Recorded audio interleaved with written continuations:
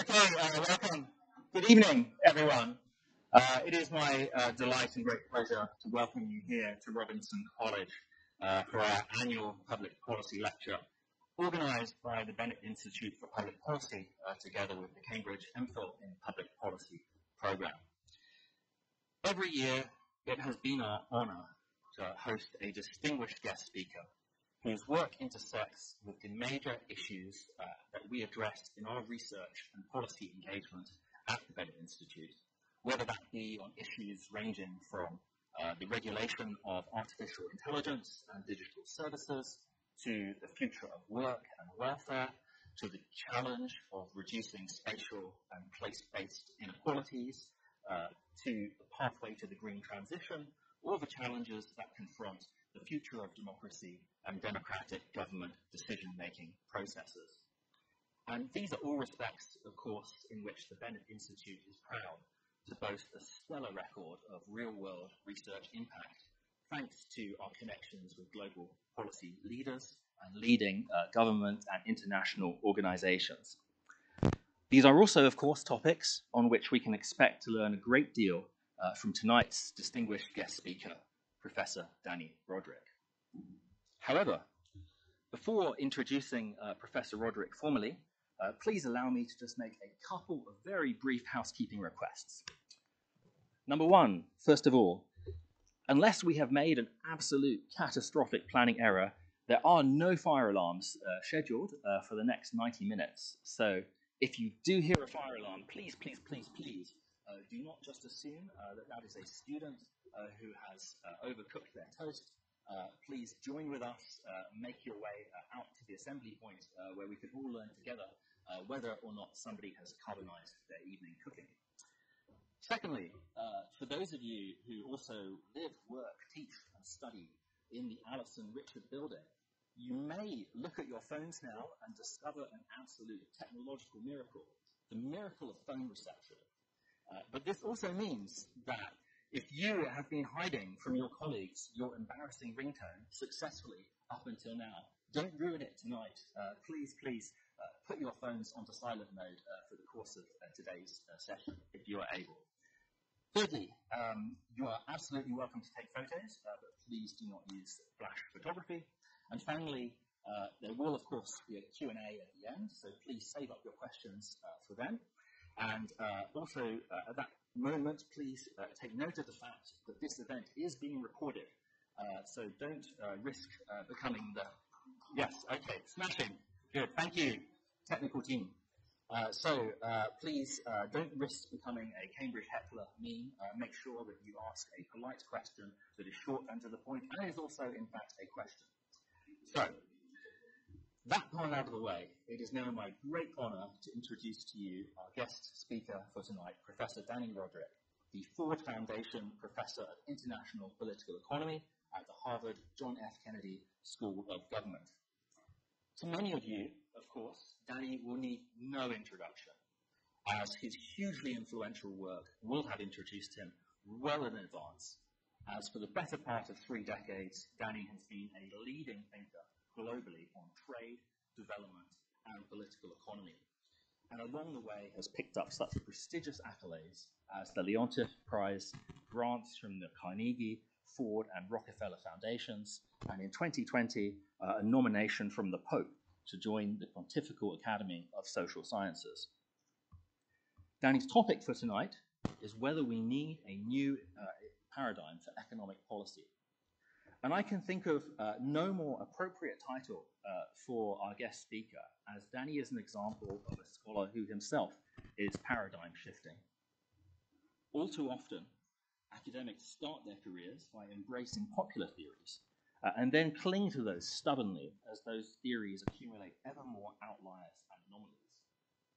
Rodrik is that rare and valuable example of a scholar who took the opposite track as his once maverick skepticism regarding capital mobility, trade, and deregulation have little by little returned to mainstream acceptance. But that, of course, uh, means that uh, while Dani has the ear of uh, global policy leaders worldwide, uh, and as governments dust off their toolkits on industrial policy and trade regulations, a new set of questions is being raised. How do we ensure that such policies achieve equitable growth and redistribution instead of geopolitical leverage or zero sum mercantilism? And as the old Washington consensus fades from view, is all we are left with a mere Washington confusion, as Professor Rodrik wrote almost two decades ago, with nothing more than a panoply of bespoke policy solutions to be applied in each individual context? Or are we now witnessing a new phase with the emergence of a new economic consensus? Well, uh, here to answer those questions and more is our special guest for tonight. So without any further ado, please join me in welcoming Professor Dani Rodrik.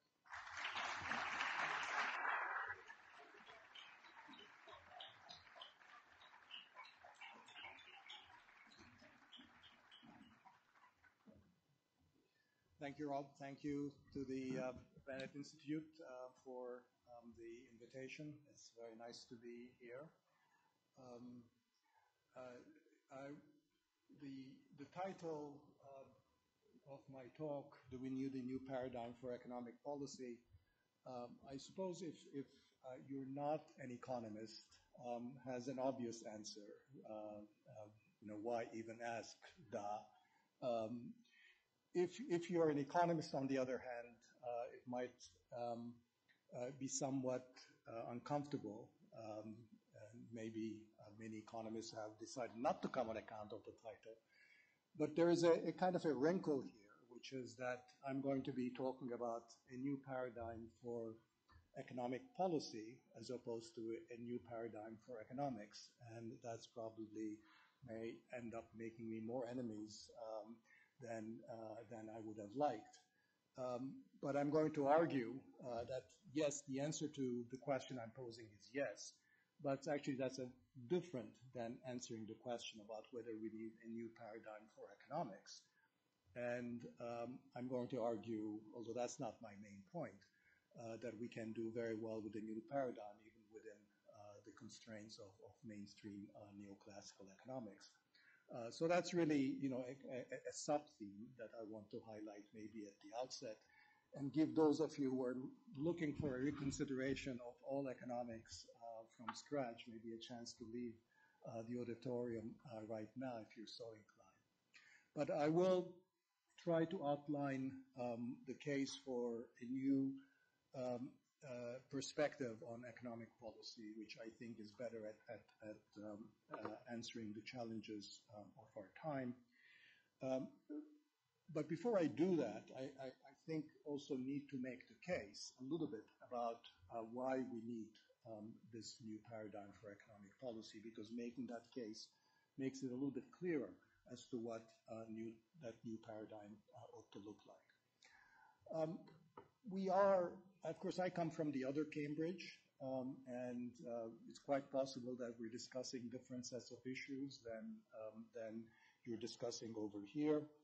Uh, but it's really hard to understate how the conversation on uh, economic policy has really shifted uh, in the United States. And that really spans um, a very wide um, gamut of areas um, uh, from corporate taxation to industrial policy to climate transition to labor markets, um, how we talk about big techs, big tech and platforms, how we talk about trade policy and globalization, and, and even sort of that, that last uh, bastion of uh, conservative uh, economics, sort of how we talk about uh, monetary and fiscal policy. Um, so the conversation is, is, is, has changed. Um, ideas about economic policies across a very wide range of domains are in flux. But why talk about a paradigm? Um, economists, in fact, actually don't uh, use that term uh, very much. Um, and I want to be explicit about uh, the sense in which I'm using uh, the term uh, paradigm here.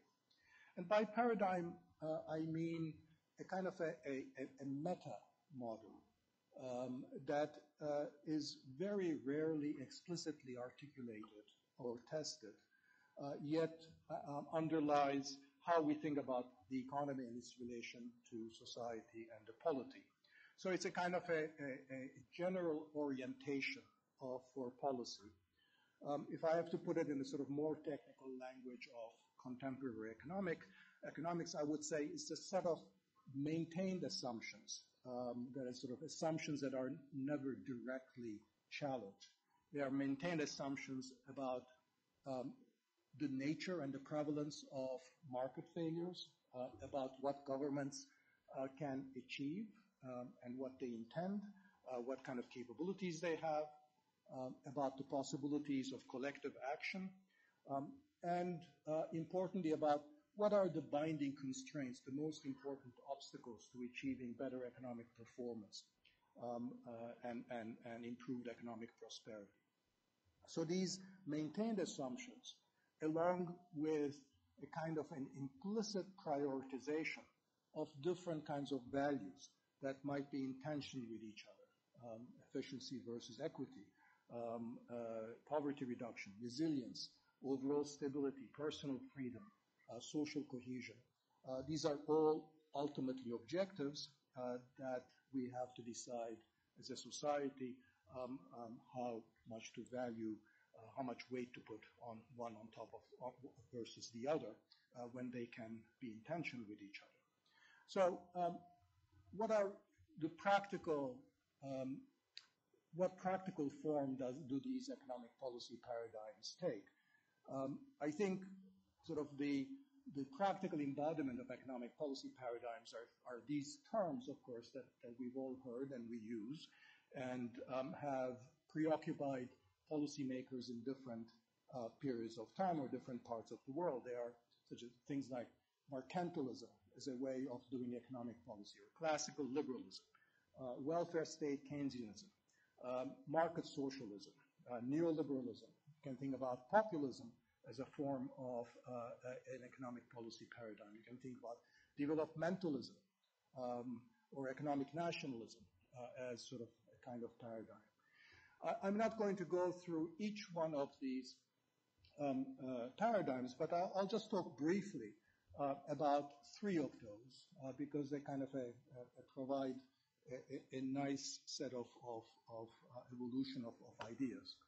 Classical liberalism, of course, was um, was a, a, a kind of a, reaction in the form that that at its root in Adam Smith's ideas about economics and economic policy um, was a reaction to the mercantilist ideas or an earlier policy paradigm, mercantilism. Um, and Adam Smith's central claim uh, was that the markets and private initiative are really the engine uh, that creates uh, economic prosperity. That's the core of the belief about how the economy works. Um, that economic well-being is measured um, not by wealth, by gold, or by trade surpluses, but the satisfaction of individual preferences, particularly over their consumption. Um, and in the typical textbook renditions uh, of this view, uh, it sort of presumes a very minimal state uh, that provides simply uh, a very narrow range of public goods, such as national defense, uh, the protection of property rights, um, and the administration of justice. Um, this, of course, was not uh, Adam Smith's own views, Adam Smith had a much more expansive view of the role of the government, but that sort of, you know, uh, you know, one of the problems of paradigms I'm going to come back to is by the time any set of reasonable ideas turn into paradigms that they might actually have gone overboard and oversimplified.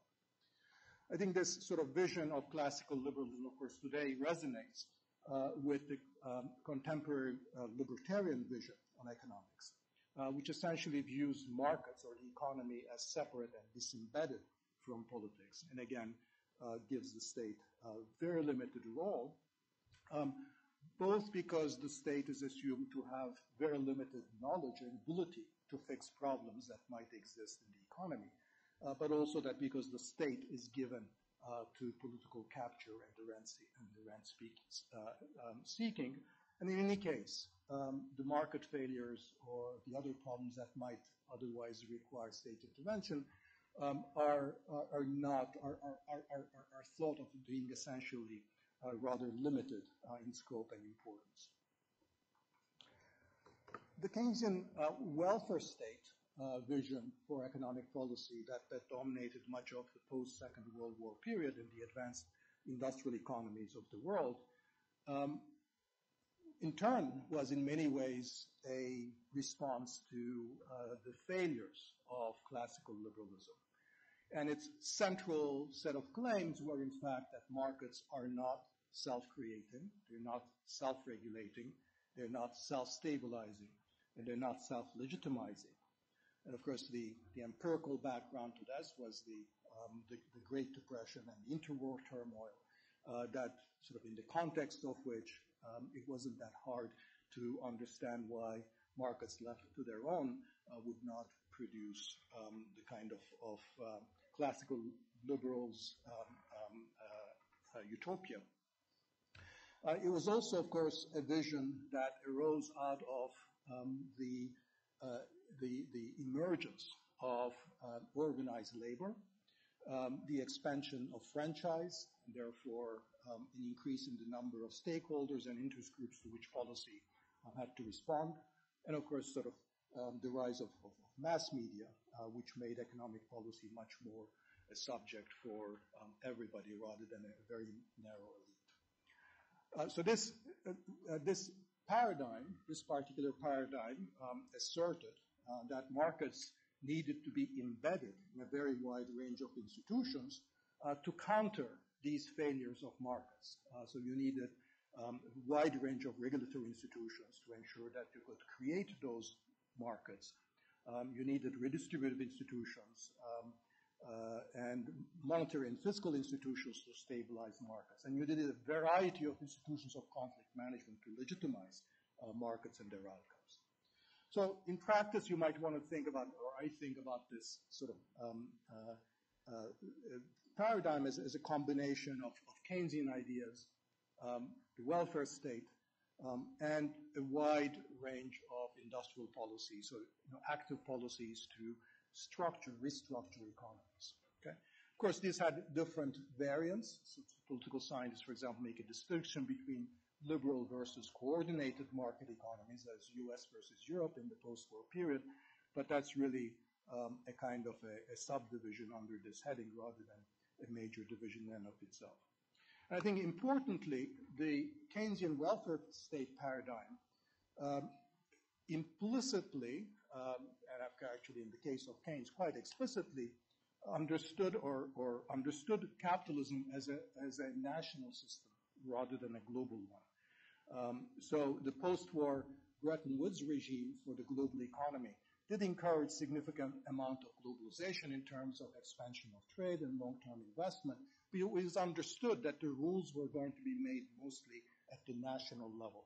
Um, and Keynes, for example, was very explicit that the kinds of capital controls that he advocated um, and introduced uh, in the initial set of arrangements that would prevail um, in the post-war period, these capital controls were not simply a temporary um, expedient, that they were there permanently to ensure that national monetary and fiscal policies had the maneuvering room, had the autonomy uh, to manage their economies, um, not threatened by uh, fickle capital flows. Of course, uh, you know, echoes of the 1930s when financial markets had been extremely unstable.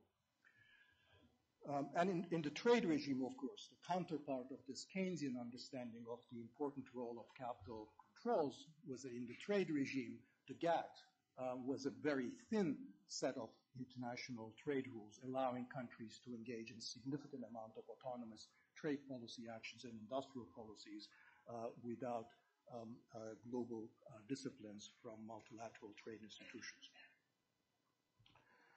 Um, Finally, of course, neoliberalism, or what has come to be called neoliberalism, uh, itself is a response to the, um, uh, the perceived failures of the post-war uh, Keynesian social welfare uh, paradigm um, that, that sort of, um, you know, um, came to a peak in the late 1970s and the early 80s um, um, by the consequences of the uh, oil crisis, um, the stagflation, and the debt crisis of the early 1980s.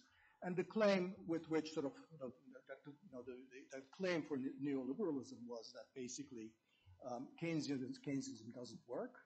Uh, it's not the aggregate demand that matters, it's aggregate supply. Uh, markets have become overregulated and states have become overextended, and therefore the remedy becomes um, uh, policies of stabilization, fiscal author- author- austerity, central bank independence, simple monetary fiscal rules, privatization, um, and a significant amount of deregulation in the form of labor market flexibility, financialization, removal of price controls, trade liberalization, and, and so forth. Now, the developing country version of this was, of course, the, the Washington Consensus. And just as this paradigm uh, gained ground in domestic economic policy, it also found expression uh, in a different model of globalization, uh, which I've called hyperglobalization. Um, and hyperglobalization was faced was um, uh, uh, uh, sort of entailed the overhauling on the capital flows side with the presumption that capital controls would be a, a, regular feature um, of the international economy and therefore pushed for financial globalization, um, the removal of capital controls.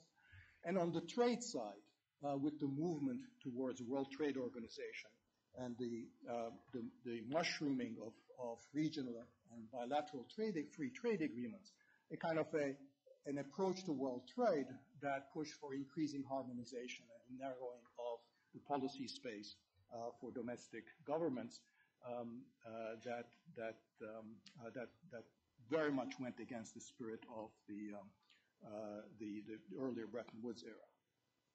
Um, the Eurozone and the single uh, market um, in, in Europe was, of course, the, the European version, uh, the continental European version of this idea within, within Europe. So um, none of this is, is really particularly new, uh, but this, the, there are a couple of, of, points that I want to stress with this very um, uh, quick overview. Uh, one is that, that really sort of there are many different versions of market economy, indeed uh, capitalism. And I could have told the story by adding sort of East Asian style developmentalism to the story, talking about market socialism. Um, we're talking about um, um, uh, some other uh, populism and so forth.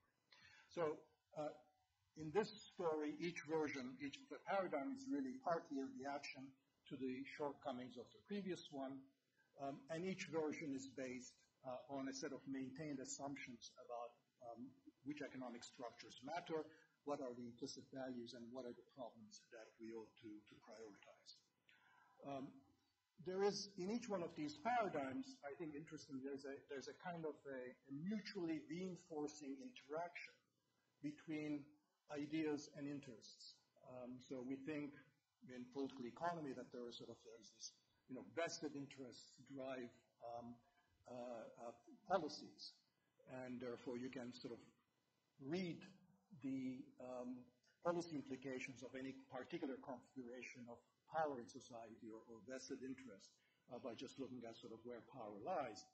Uh, but I think this, this story of this uh, shifting paradigms, I think also um, makes it clear that we also have to ask the question, where do the vested interests get their ideas? about economic policy. And that in part comes from the prevailing paradigms.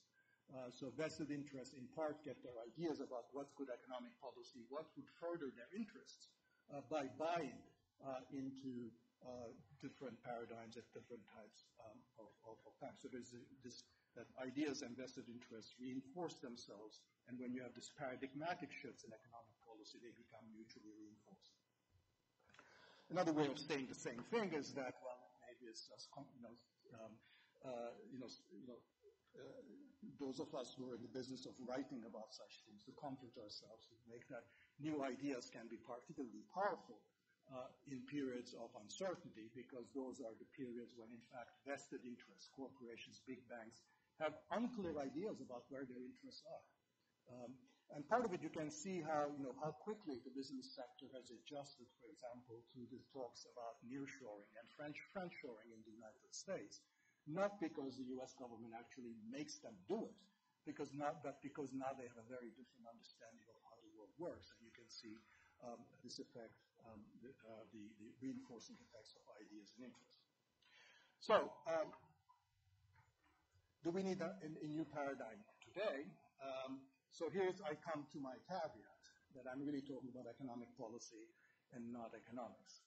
Now, um, I'd like to argue that contemporary economic theory is actually remarkably flexible and admits almost an infinite variety policy remedies. When I was a graduate student in economics, I came across this quote, and I keep using it. Um, this was from uh, Carlos Diaz Alejandro, an economic historian at Yale and Columbia, and he wrote, by now, any bright graduate student, by choosing his assumptions carefully, can produce a consistent model yielding just about any policy recommendation he favored at the start. That was published in 1974, right? So imagine what today's bright graduate students can do. Um, and um, now, you might think of this as a kind of a, um, you know, the weakness of mainstream economics. After all, if you can come up with any conclusion you want by building your assumptions carefully. I would argue that it's actually the, um, the strength because it gives you sort of, you know, especially the strong point of economics is that its ability to derive contextual, context-specific policy conclusions. And the, I, the, the, point of these alternative models is to be very clear about what you're assuming about economic structure and behavior. And that gives theoretical rigor. It also gives you a sense of what must be true in the real world for your policy conclusions to follow. So rather than this being a sign of emptiness, it's a sign of start being, you know, thinking carefully and rigorously about under what conditions what policy conclusions are going to hold.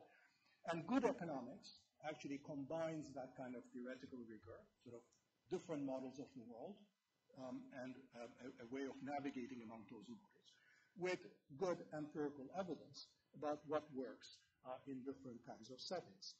Um, and in fact, one thing that we are finding out in much increasingly more sophisticated and careful empirical evidence about what works is that what works in one setting doesn't work in another setting.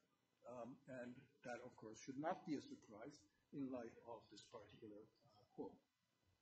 Going one step further, I would say that, in fact, contemporary economic tools come paradigm free uh, when you are thinking about paradigms in terms of an economic policy. Um, and uh, that, that can be used to support a very large uh, paradigm, large variety of paradigms. Um, furthermore, um, I would say against myself, and I'm going to argue against the need for, uh, in favor of a new paradigm for policy, there are sort of downsides uh, to paradigms. I, I, mentioned this already um, at the beginning of my uh, talk, that by the time any idea becomes conventional wisdom, it tends to turn into a set of cookie cutter solutions uh, with a lot of blind spots that render them inappropriate to specific context. So it wasn't that neoliberalism was completely silly. Um, it was responding to actual failings of our previous understanding. It was just that we took that as the only way of thinking about the world rather than understanding that sometimes we have to move across these different models of the world.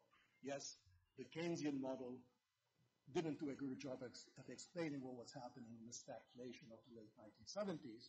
Uh, but, you know, 15, 20 years later, the Keynesian model would actually become very, much more helpful than any um, uh, supply side or, or, or, or rational expectations uh, um, uh, classical, new classical model um, that have become paradigmatic um, by that time. So I will then preface what I'm going to say for the rest of my presentation by um, uh, saying, beware economists wearing policy paradigms. That's me. Um, but um, I will ask your indulgence in following me because of the view that I do think that we still need a kind of animating vision for policy. That is that, you know, that, that has to be provided by someone. I don't think economists are particularly, um, uh, you know, I don't think it's necessarily up to economists to provide the paradigm here because for reasons I just stated, it really transcends uh, the professional skills of, of economists. Um, but um, but it's, I think it's, it's incumbent on all of us to think about this because uh, we do need an animating uh, vision, um, and I just want to um, highlight my own. So, uh, the premise for this is then that, that the world uh, is not going to be, uh, the world is going to be fundamentally different. Uh, we have geopolitical realities um, that have changed. We have the realization that the climate transition uh, better be upon us, um, that, that market-based policies are not going to be, um, they're going to be at best part of the solution. And then, for reasons that I will tell you a little bit more, that our existing uh, models for how to run the global economy um, for the welfare state and for economic growth and development are actually um, have, have run their course, that these ideas um, have been, um, they're inadequate and that a change in course is indeed uh, inevitable. I'll just give you um, very briefly sort of, you know, a, a couple of, of um, different aspects of where I think we need, or the problems that we need to handle. Um, I think the, the, for me, one of the most important problems is, is what uh, economists have called uh, labor market polarization, uh, the fact that a combination of technological change and new modes of globalization have essentially um, led to a significant weakening of the middle class base of uh, societies. And here you can see there's sort of the decline uh, in the pay of uh, occupations in the middle of the um, uh, income distribution. These are largely production workers, sales and clerical workers, and so forth, that have done very badly in the last uh, few decades. This is um, especially so in the United States, but it's a phenomenon that exists in a lot of other countries too. Um, a related problem is that manufacturing is no longer uh, and this has been true now for, for a very long time, that, that, that um, uh, manufacturing, which was this sort of classic mechanism for creating middle classes, um, is, is, has become um, weaker and weaker. Employment deindustrialization has, uh, has been the feature of practically all middle and um, advanced economies in the world. And very importantly, even in countries that maintain ever stronger manufacturing sectors, um, measured by value added, their contribution to total GDP, the share of employment in manufacturing continues to shrink. Um, and here you can see this very drastically in the case of South Korea, the, the, the country that, I've circled here, where at constant prices the share of manufacturing in GDP has, has continued to increase, um, but the share of employment has plummeted uh, quite significantly. Of course, what's happening is that, that basically uh, new technologies, automation, um, and the increasingly skill and capital buys um, of uh, manufacturing means that manufacturing cannot absorb labor. It becomes a labor-shedding uh, sector, regardless of how well you're doing um, in competition in manufacturing on the global markets. So, the the paradigm that I'm going to be talking about is fundamentally focuses on on good jobs. The idea is that uh, inclusive prosperity today requires not just economy-wide productivity, but actually more productive jobs for the bulk of the labor force. So that means actually addressing inequality where it is created, because inequality is created in the productive sphere um, through the earnings that people um, uh, uh, generate through their work. Um, and, and so this put, means putting focus on uh, the productive sphere of the economy rather than on uh, redistribution uh, or transfer of resources indirectly through transfers and, and social support. Uh, so this entails a, a, a moving closer to the vision of social justice that Michael Sandel has called contributive justice. In other words, we want to give people an opportunity to contribute to society. And one of the main ways in which we contribute is through the work that we do. So there's a focus on contributive justice as opposed to distributive justice, just the question of who's getting what. Um, so uh, I think it, it, goes without saying, but I think economists consistently undervalue this fact that jobs are not just a source of income. Uh, they're also a source of personal dignity, uh, person, a source of personal social recognition and, and fulfillment, that in the language of economists, jobs enter not just through the income they provide and they're relaxing the budget constraint, but they are directly in our utility function. Um, and um, in terms of studies of um, uh, perceived life satisfaction, nothing can hit a person worse than actually losing a job. Again, a fundamental uh, feature that is not um, taken into account in our standard um, uh, um, uh, economic um, models. Um, again, you know, sort of these studies have found that to compensate somebody who's lost a job through income transfers, you actually need to, um, you know, give them income equivalent to four or seven times their actual income, um, so that that's multiples of income transfers as required. Okay, so we so we know that that you know jobs matter for from a utilitarian perspective. Uh, they're also um, uh, uh, um, matter from the, pers- from the view of um, the impact of good jobs or alternatively loss of good jobs can have to local communities.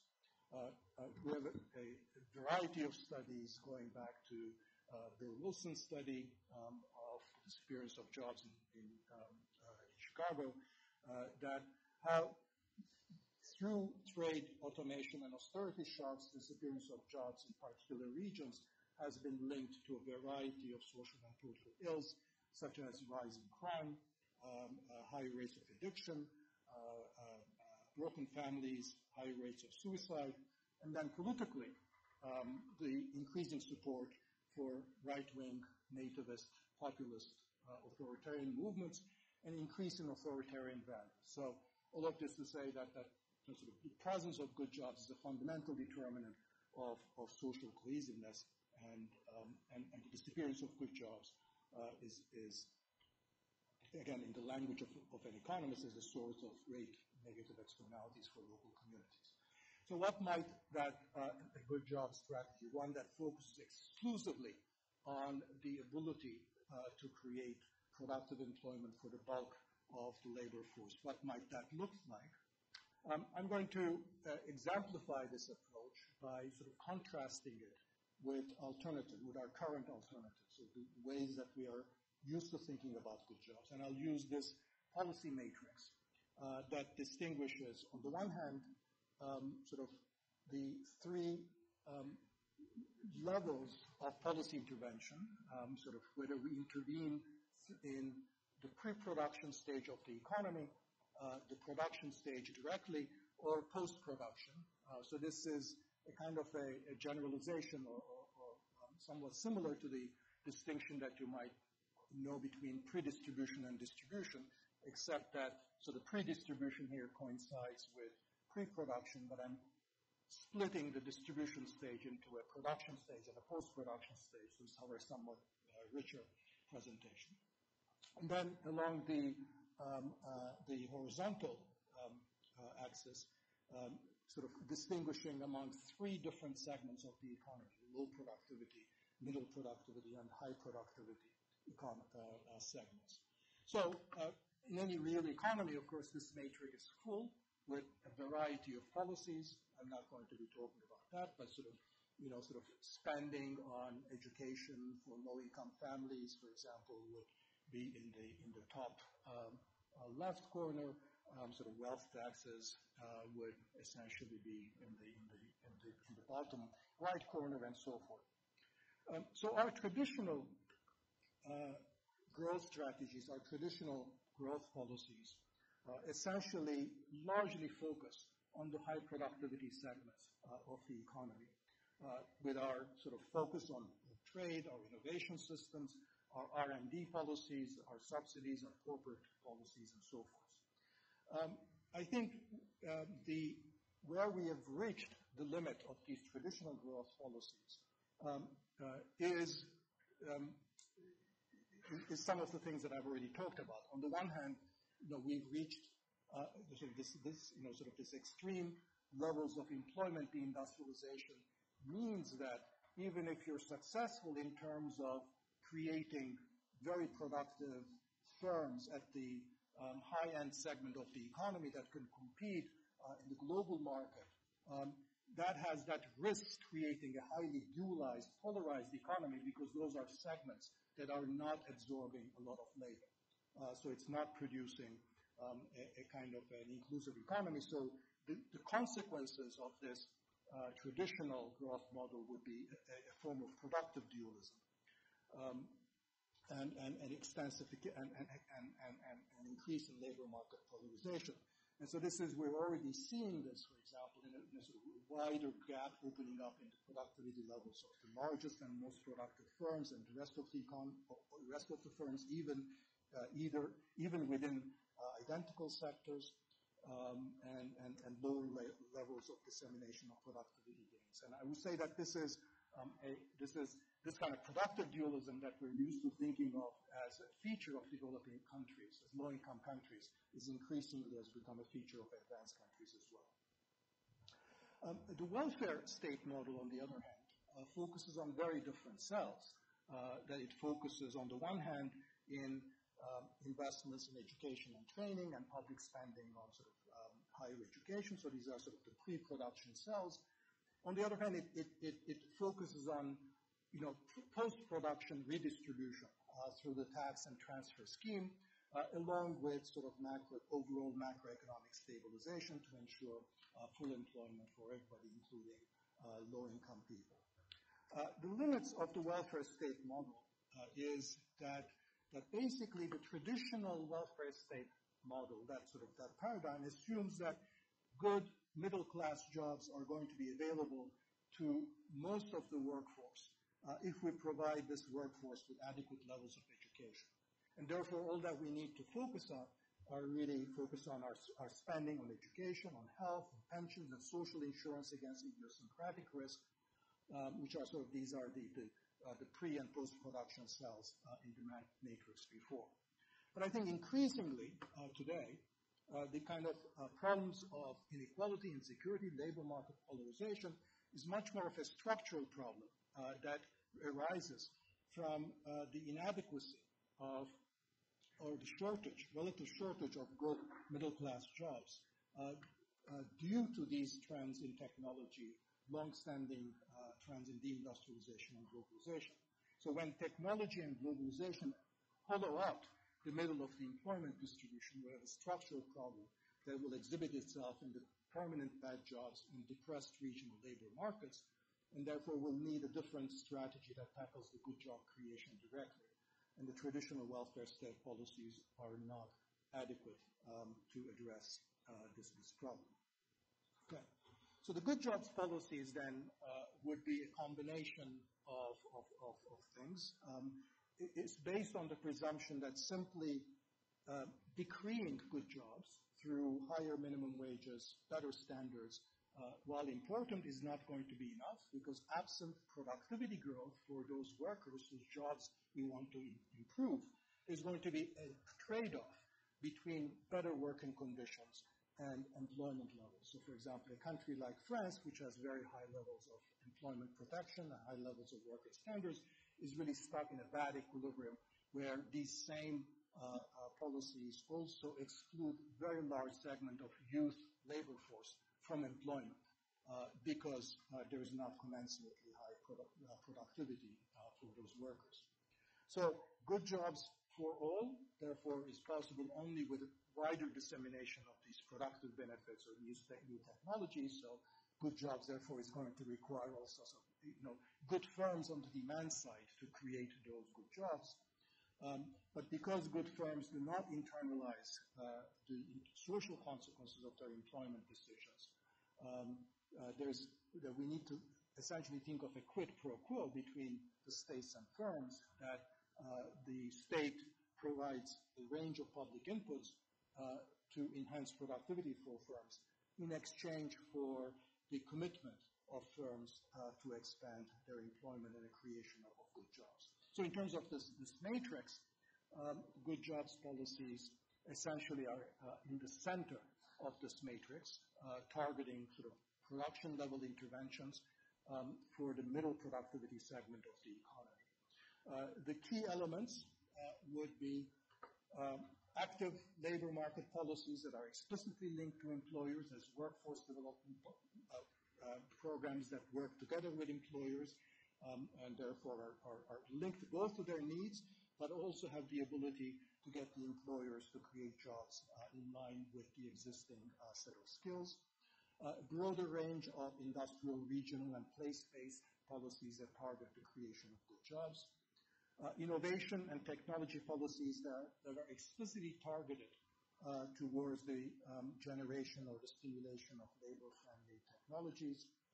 Um, and then all of that supported by international economic policies that give nations the right uh, to protect uh, domestic labor social standards and the right to prevent those standards being undercut uh, when um, uh, domestic uh, labor standards come under, under, under threat from countries where labor rights are grossly violated. Um, so these good jobs policies are, are connected both by a common objective of, of, focusing on the creation of the good jobs, but also a new form of, of governance. Uh, that is a relationship between state and the state agencies and the private and, civic uh, sector. Uh, that is that um, it entails a greater degree of coordination um, between these um, business incentives and innovation incentives on the one hand and labor market policies on the other. It entails the provision of customized business services such as um, uh, um, you, know, you know, greenfield sites or, or management training or uh, particular types of workforce training instead of tax incentives or fiscal incentives. Um, a, at least a good faith effort on the part of firms um, to, um, to live up to commitments with respect to the uh, job upgrading and the creation of good jobs. And also a kind of a collaborative, iterative relationship where these relationships can be updated in light of, of new evidence and changing, changing uh, conditions. Now, this all will sound very abstract, um, uh, and um, I, have written about some of the details of this in the context of the U.S. I have also a couple of short pieces on this for the, um, the, uh, uh, the, the UK. Um, and um, I, for the purposes of my presentation, I wanted to suggest um, just a, a general uh, orientation of policy rather than going details of what some of the specific uh, programs uh, might look like. I'm just going to conclude by um, briefly um, citing four different, um, I think, advantages um, of this kind of an agenda or this kind of economic policy paradigm. Uh, one is that this is an explicitly uh, structuralist approach. Uh, that is, uh, it aims to shape production, innovation, and employment incentives uh, of the private sector where those decisions are actually being made uh, rather than taking them as given and then redistributing income uh, after the fact. Okay? So that's the sense in which it is moving away, not necessarily uh, undermining the welfare state, but saying that, that so there is an additional dimension that is needed that is much more directly targeting the productive sphere of the economy. The second, I think, is that this way of thinking of uh, these good jobs policies as this cooperative, ongoing, iterative relationship between various state agencies and the private sector and the civic sector uh, is that it breaks through this kind of institutional fetishism that, that preoccupies at least the economist's mind between sort of markets on the one hand and the state uh, on the other. Because when you start looking at how your approach to create good jobs, these traditional conceptions or distinction between markets and the state regulation versus the free market no longer apply. Instead, you have a, a set of processes, a sort of collaborative, iterative rulemaking um, uh, that tries to uh, take advantage and also respond uh, to um, a high dimensional uncertainty that exists in, in, the sphere. Third, I would say that um, an advantage of this framework is that it does not separate out the growth agenda from the social agenda, uh, because a, a, a feature of this uh, is the understanding that the economy, the growth of the economy is really possible only through the dissemination of more productive methods um, throughout a larger segment of the labor force and throughout the uh, regions of the economy that have been left out. And on the other hand, uh, you create greater equity and inclusion precisely by creating better jobs uh, for uh, the low and low middle income uh, segments of the, of the workforce.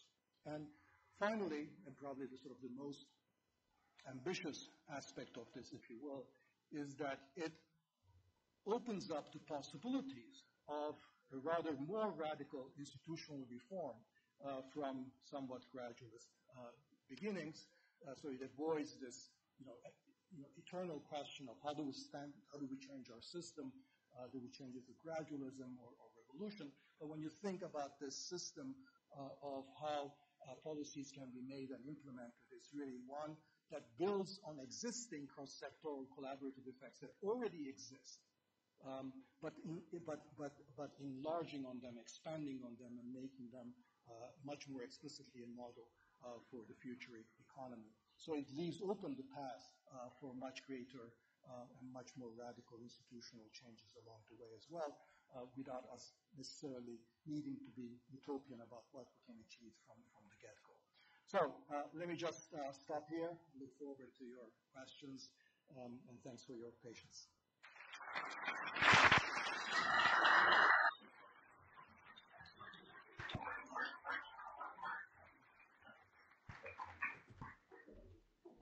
Okay, great. Thank you for that uh, fantastic and enlightening uh, presentation. So we have plenty of time for questions, and I know from previous sessions in the day that people are absolutely jam-packed with questions uh, for Professor Dani Rodrik. Uh, so, um, goodness, there you go, lots of people. Okay, so um, I think the first question here, so let's take maybe two or three questions. Uh, okay, yeah, fire away. Hello, thank you for your presentation. My name is Emiliano, fourth year student in PhD in geography. And I have two questions. The first one is, you mentioned that uh, economic, contemporary economic policy tools are free from paradigms and can be used to support different paradigms. So my question there would be, how are some of the tools of the good, what makes the tools of the good jobs paradigm specific to it? And what would be the risk that these tools are used for other economic paradigms? And the second question is, um, speaking of economic growth agendas, um, what would be your uh, thinking about, for example, degrowth in the fossil industry? Um, do we need more good jobs in fossil industries or degrowth in the sector overall? Thanks. Yeah, no, I, I, think, I mean, the second question is easier. I don't think we need growth in the fossil fuel sector at all. I think we definitely need to shrink that. That's an existential question. Um, so my, my, my, my comments did not really focus on the climate transition much. So I take it for, I, I take it as given, so I don't know, oh, this went, so, sorry.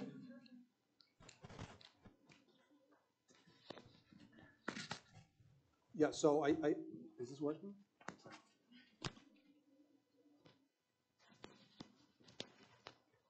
Is this working? Okay. Yeah, no, uh, uh, I, you know, so I think um, the, the climate transition agenda is largely uh, sort of uh, complementary to what this is. I, I, think about the climate agenda as sort of the most important existential threat that we face to our you know, physical environment. And, and the kind of social problems that our, the labor market distress has created in the last 20, 30 years is probably the greatest threat to our social and political life. So uh, there's a sense in which, um, but of course I, my talk has emphasized the, uh, the good jobs aspect, so I don't want to. I think realistically what we're going to have is that um, our climate transition policies are going to add to these problems because a lot of the jobs in, in the, in the um, areas that rely on, on, on, on, traditional sources of energy will have to disappear. So that would be an additional uh, concern, an additional reason that we want to ensure that these kinds of good jobs policies are in place, that we can replace those jobs uh, uh, with productive jobs in other kinds of services. Um, so I forgot what was the first question. Um, you had mentioned that economic tools are paradigm free and can be used to support different paradigms. What makes good jobs economic tools specific to good jobs and um, not for other paradigms, for example? Well, I mean, I think there's a there's a, a certain number of um, uh, uh, maintained, you know, sort of there's a certain number of assumptions that go into why we needed these tools, and so that that come from specific so, for example, that there are these social that there are these social externalities from good jobs, and therefore you need to find ways of encouraging good jobs. Um, and then you say, well, if there's an externality, why don't you just simply apply a Pigovian uh, a subsidy, just give everybody a you know, subsidy for creating more jobs? then there is something else that comes in. This, is, but you know, there's we live in a world where there is sort of high dimensional uncertainty, when there's a lot of uncertainty about the, the, the, kind of technologies that firms could have access to, the magnitude of these externalities, what are the best strategies that are available. Um, just simply using a Pigovian subsidy actually doesn't use enough information, or, and therefore you want to think about this as a more of an iterative process where you're actually learning more about the environment as you're applying different kinds of policies. So that particular theoretical model leads you to this kind of a different kind of policies which are much more collaborative, iterative, rather than the traditional top-down ex-ante model of arm's length model of regulation. So each one of these conclusions follow from particular views of the world, the particular models. Um, and I think that's sort of the link. Um, now, I haven't done the, the mapping in the other direction. So, but the mapping goes from particular models of the world to what their policy implications Okay, let's have a question from this side. Uh, yes.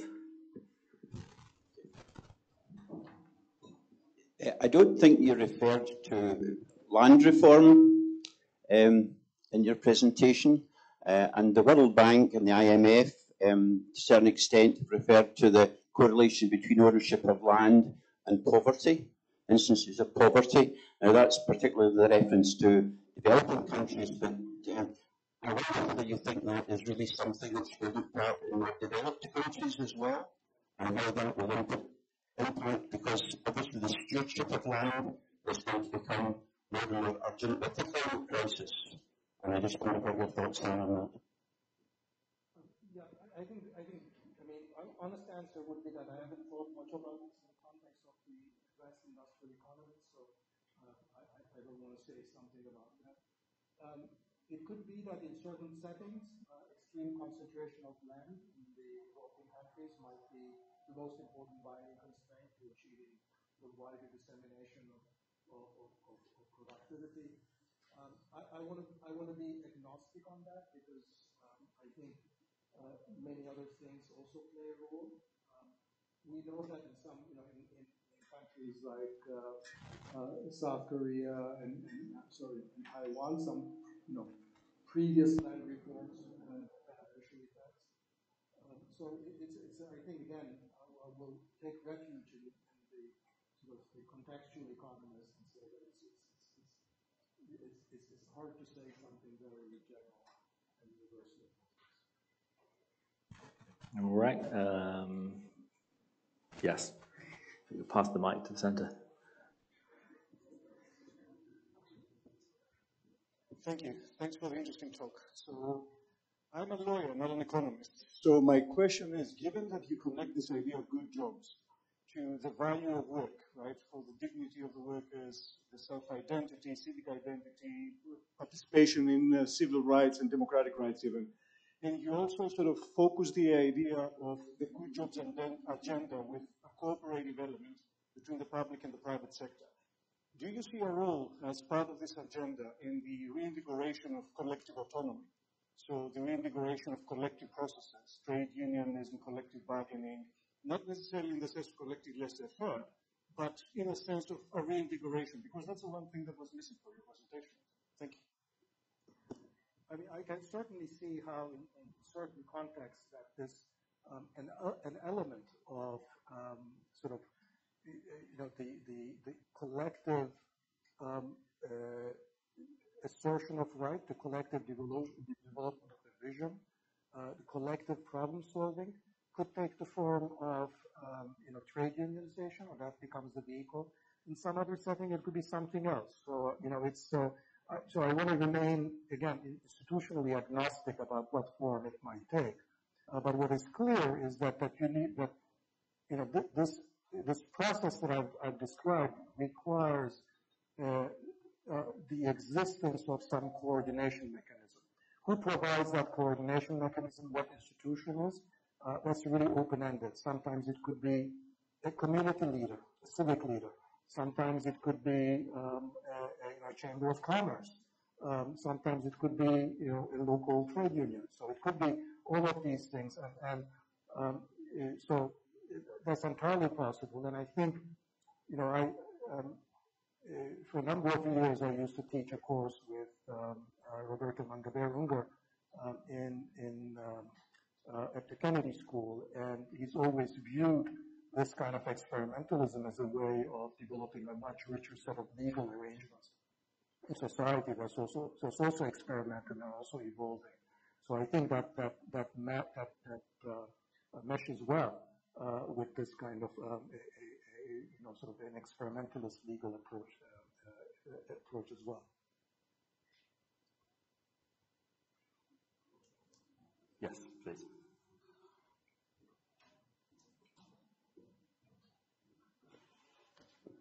Thank you for your presentation, Professor Rodrik. My question is how to how to create good job policy in the presence of large businesses like tech giants. When powerful businesses have the option not to not to engage in this good job policy, how do we create a structures or incentive to make them engage in good job policy for the economy? Thank you. It's not entirely clear that um, remember that, that, you know, sort of my description. So, you know, there's a famous uh, sort of, you know, the, you know, the the uh, the Treaty of Detroit conception of, uh, you know, American labor market institution that goes back to that sort of the earlier paradigm where it was understood that that you know, part of the job of labor, part of the job of large corporations was to work very close with their communities and with their workers and with their suppliers, that they had a sense of responsibility uh, to these groups. Uh, an understanding of what corporations are for that you know dissipated um, after the 1980s and 1990s when you know uh, you know this uh, shareholder view or shareholder um, uh, um, uh, value maximization vision of what corporations about became the dominant view. I, I, I, I, mentioned that earlier conception because it ties up with one of the themes that I had in the early part. Um, I think there's a, there's you know sort of powerful interests, their, you know, sort of their views of where their interests are also come from the prevailing narratives about society. And so I find it a little bit less of an inherent obstacle that uh, large corporations are large and therefore they are powerful and they, they have interests. Um, I find that as a less constraining, um, uh, um, you know, sort of fact about the world, about how we can change the world, because it's really also that they can start having very different visions of where their interests lie. And I think that that that narrative would would start by saying that look, you know, that it's, it's, it's not, in some ways it's a vision that they're already internalizing because they've understood that it's no longer these footloose corporations that can go anywhere and they can rely on this completely global supply chains and that, that, that they will need to behave, these large corporations need to behave in a somewhat different ways. Now, the neoliberal version of that was ESG, um, that is basically doing a few things to look good. I think we need we will need to go beyond ESG to have a much formal uh, um, sort of standards. Uh, but I think you know, sort of large corporations know that they can make money under any kind of regulatory structure as long as they have a certain degree, a good understanding of what that, that, that you know, that framework and that structure is. So uh, I, I, I, don't find it as, that, that is some major obstacle that we have organizers of power large corporations, you know, would be the beneficiaries of many of these good jobs policies because they have access to many of the things um, that strong labor markets and, and, and good strong collaboration with uh, state can provide everything from property rights to intellectual property rights to trained workforce to local infrastructure and, and all of that. And that's part of the quid pro quo. Um, but that has to be made clear to the corporations that that's the kind of world in which we live in mean, I guess there's an issue that is implicit in both of the two previous questions, uh, which maybe comes down to the question of uh, to what extent is it a labor productivity problem, and to what extent is it a distribution problem? Because someone like Piketty might argue that, well, you have industries that have achieved a lot in terms of labor productivity, but those reduced costs haven't necessarily fed through into returns to labor rather than profits. That's, that's, I'm glad you put it in that way, and that's a great question. Uh, uh, I would say that increased productivity uh, is a necessary but not sufficient condition for creating the kind of, you know, sort of, you know, inclusive prosperity and the dissemination of good job. Um, and indeed, we have seen in the United States where um, in many sectors of the economy, average labor productivity has increased very rapidly while wages have stagnated uh, for um, high school workers. And, and so that has been a failure of the institutions, of labor market institutions, to ensure that the benefits of productivity have been appropriately shared. So I don't want to uh, uh, underemphasize the importance of those very hard won gains in labor market institutions, labor standards, institutionalization of labor markets, uh, minimum wage policies, and so forth. Those are very important. Uh, but ultimately, uh, you know, sort of, you know, you need as a necessary condition, um, you know, sort of the, you know, underlying increase in productivity, uh, then which then can be appropriately shared.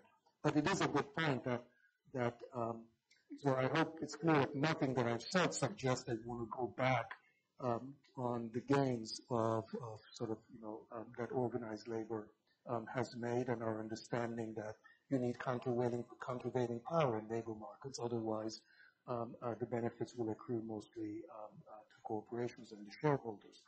Um, but the other risk that we can take is to say that that's the only way we can achieve this. And if you don't have the underlying, so um, the kinds of jobs that are available for relatively low-skilled workers aren't of high enough productivity, even if that is uh, um, uh, the, the, the, distribution within the enterprise is appropriate, that's still not going to result in high, high wage and high benefits. Yes, please.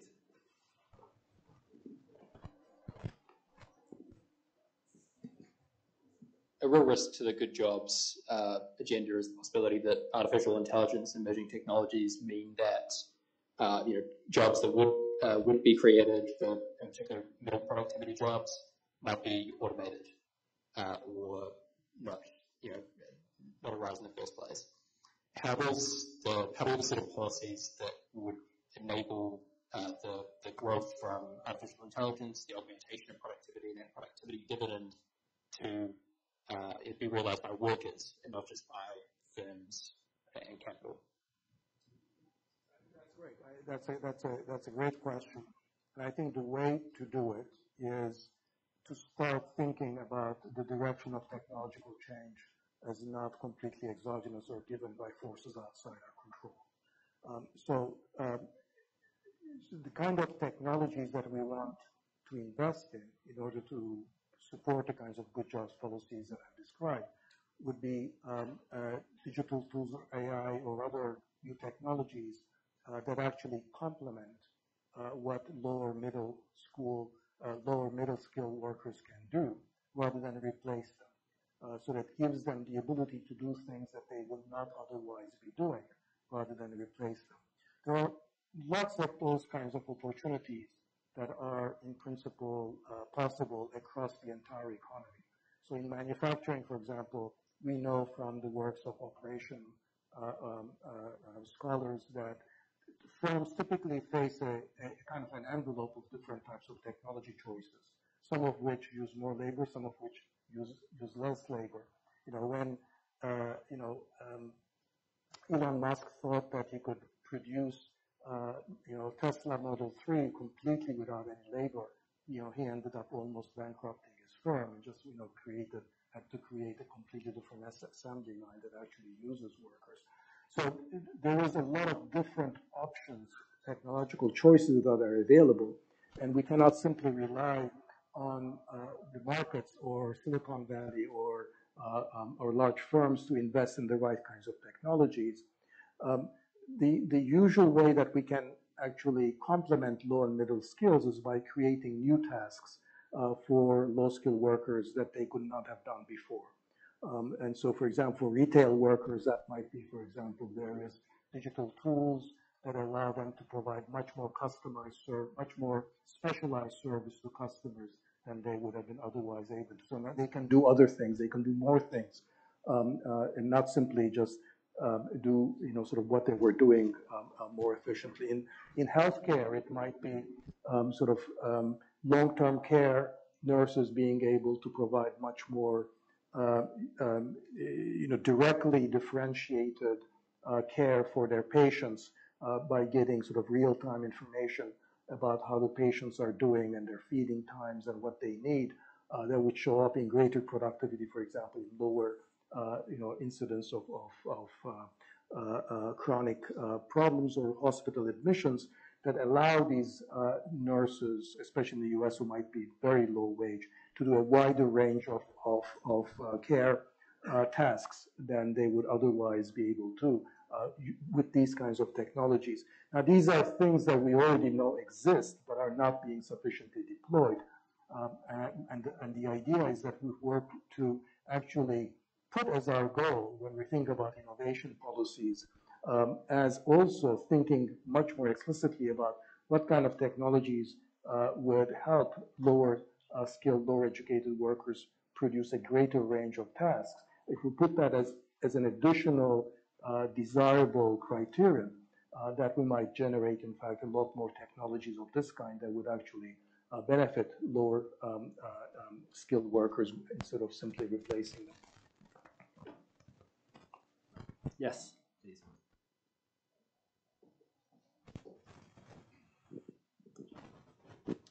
Uh, thank you very much. Fascinating talk. Uh, find it really interesting that no one has challenged you on your suggestion about paradigm shift.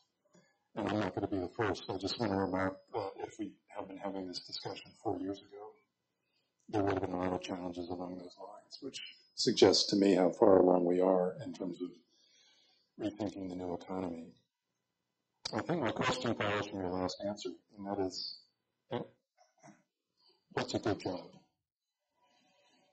Uh, how do we define that? And to draw a contrast with the Treaty of Detroit, I think you have something other than the Treaty of Detroit in mind or something more. In other words, not just good wages, good job security, good pensions, good health care. In the answer to your last question, you, met, you mentioned diversifying the work that a low paid care worker might give. But could you talk to us generically about what a good job would be in this new paradigm? Because it's the linchpin of your project, and I would I want you to help us think more about what that looks like across multiple sectors of the economy, especially sectors of the economy where jobs are going to be numerous, such as social care, but which traditionally have to be not on the good side of work.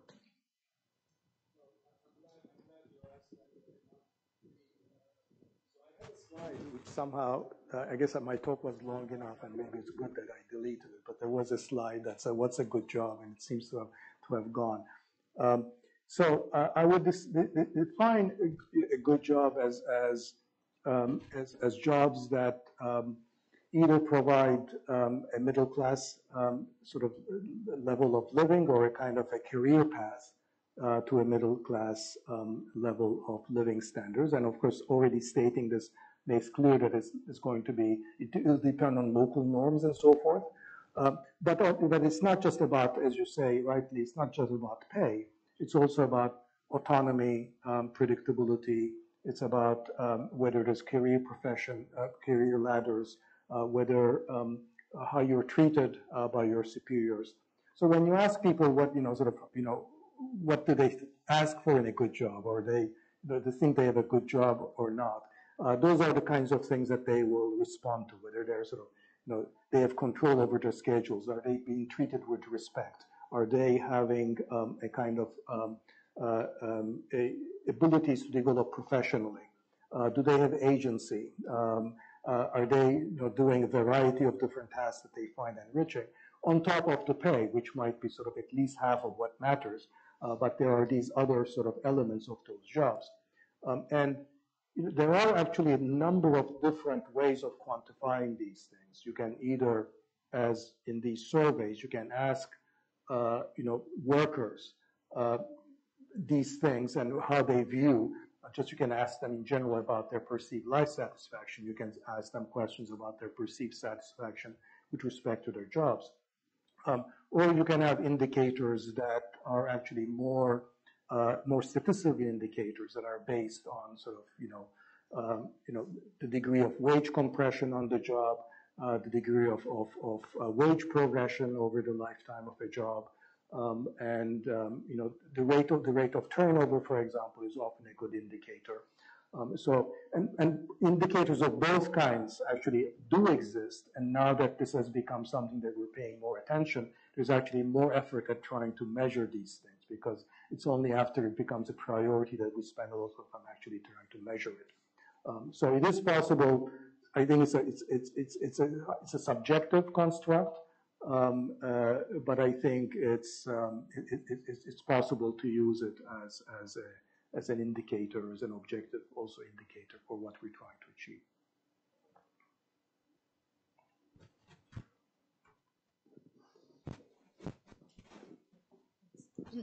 Hi there, I'm Lucy. I'm one of the few public policy students in the room, and I first came across your work when I studied at the London School of Economics, so I've been a fan of your work for some time. And my question actually is related to this very slide behind you on the second bullet point, where you say from welfare state to productive state. I think it's excellent in theory, but in practice, particularly here in the UK, I mean, for me, this is blindingly obvious that we need to move from a welfare state to a productive state. But how do you do that in practice? Because as soon as you try to say, okay, you know, we're moving to a productive state, away from a welfare state, you get all sorts of attacks. So I'm just curious how you do this in practice. So welfare state to a productive state.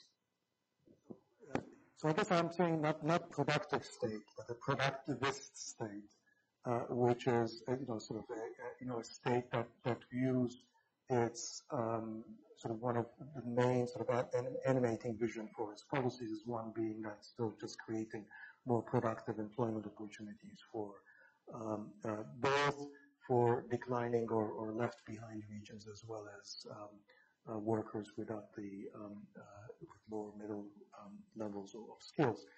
You know, how do I get? I mean, it's just it's it's uh, you know it's, it's it's it's for the government to to take on a particular vision for the government for and to pursue it. So it's not. I don't think we should measure this by whether this an objective can be achieved within 15 days or within 30 days. It's about you know um, whether what you're doing, this is the whole point about the discussion about economic policy paradigm, is really what, what is it that you think you're doing?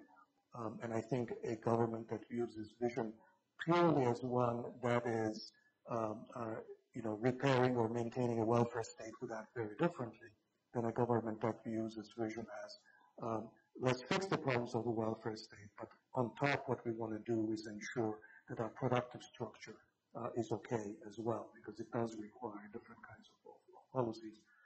Uh, is this possible? Well, I mean, it does, and I think often it happens.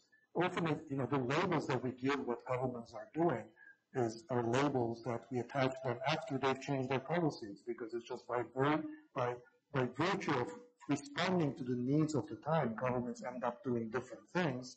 And then, you know, some economist or some political scientist, some historian comes by and say, uh, you know, you know, with benefit of hindsight, we see that this was neoliberalism or this was something else. Um, and, and we see this, this happening. I mean, I think we're seeing this very clearly in the United States with uh, sort of what some, some have called Bidenomics. I don't know what we're going to be calling it five, ten years from now, but it's certainly a very different approach to policy.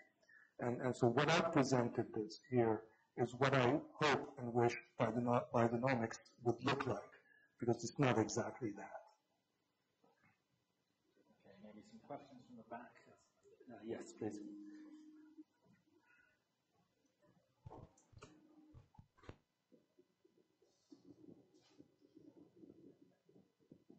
Hi Um, you, you talked about international economic policy as um, one of the key features of the good jobs paradigm.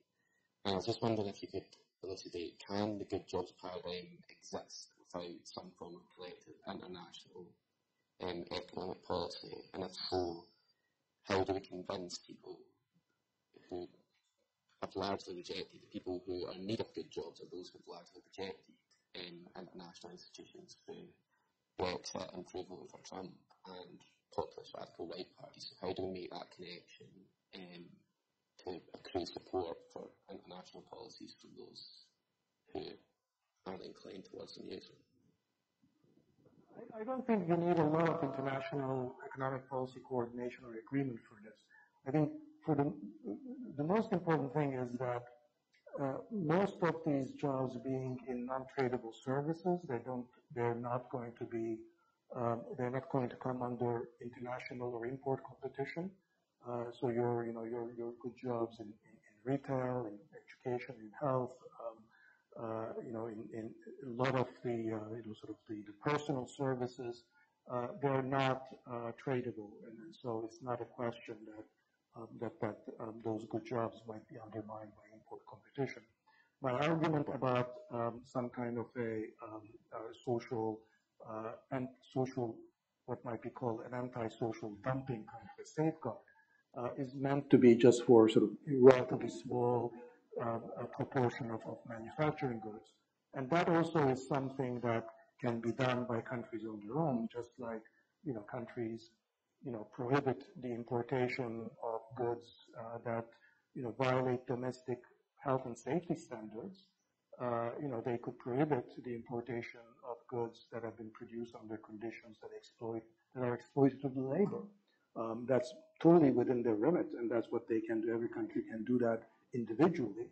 Um, if that country does not want its labor standards in manufacturing tradable sectors uh, that are um, are open to competition from such imports, if they don't want their workers in such sectors uh, to come under competition from other jurisdictions where labor rights um, are, um, are explicitly exploited.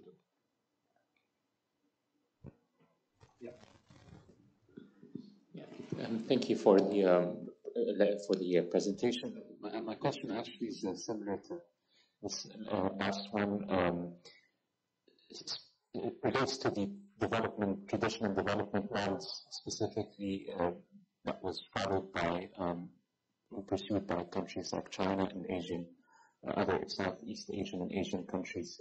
The role of foreign direct investment uh, was substantial in uh, transferring technology, upskilling the labor force and enhancing productivity. So do you see this same role of FDI in this new paradigm or perhaps more greater reliance on domestic capacities?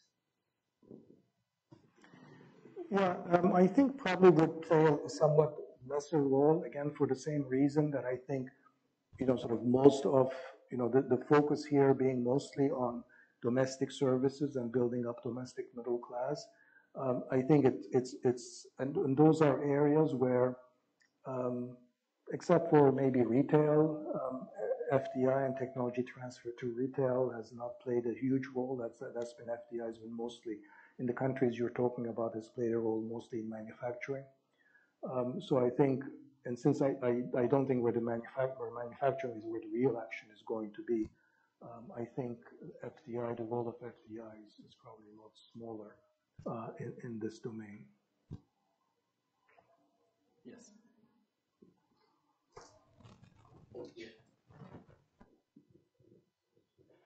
Thanks very much indeed.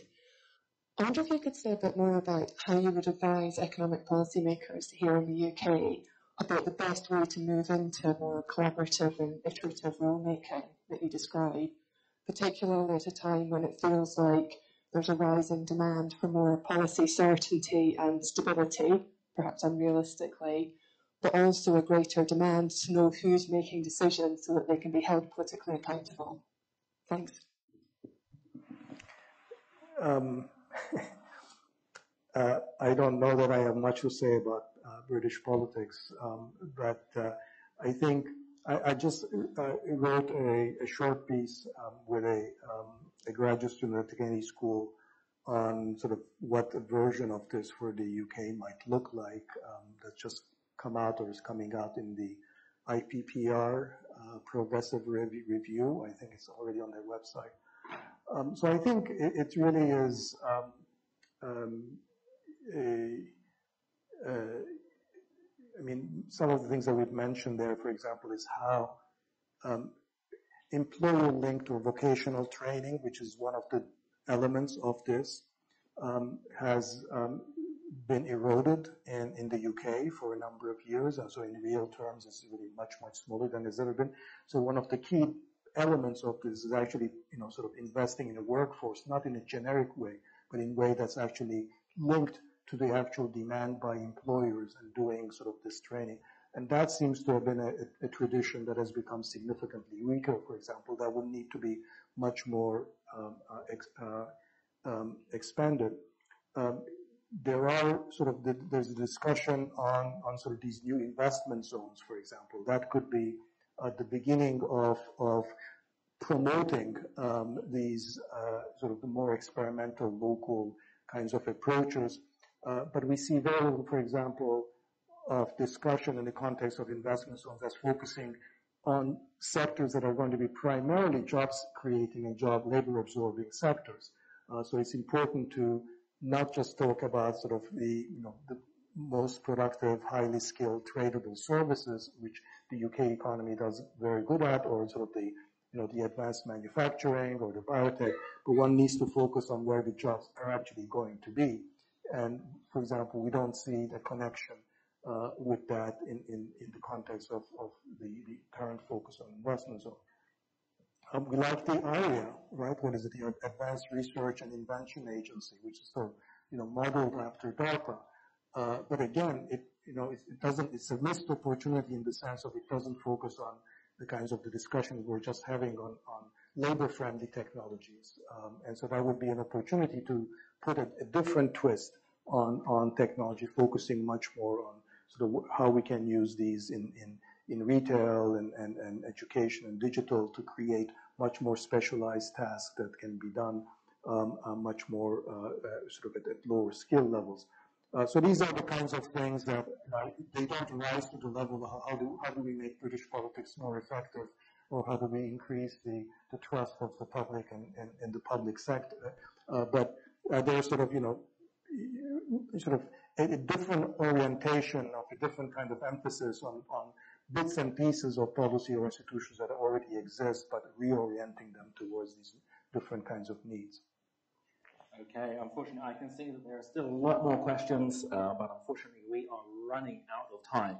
So, um, thank you so much, uh, uh, Daniel, for this absolutely fantastic um, presentation and discussion on what is surely one of the most important policy issues of our time.